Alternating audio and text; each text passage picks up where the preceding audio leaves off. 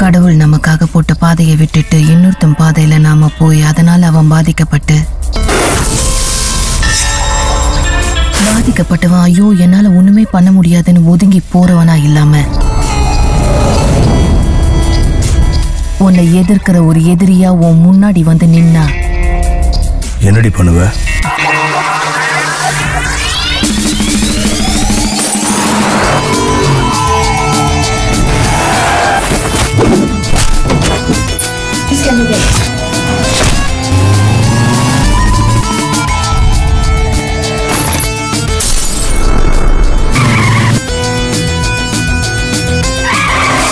பலவீனமானவ எதிரியை எதிர்க்கணும்னு முடிவு பண்ணிட்டா அவ சாகறதுக்கும் தயாரா இருக்கணும். இல்லைன்னா ஒதுங்கி ஒரு ஓரமா வாழ்ந்துட்டு போயிடணும். நான் வாழணும்.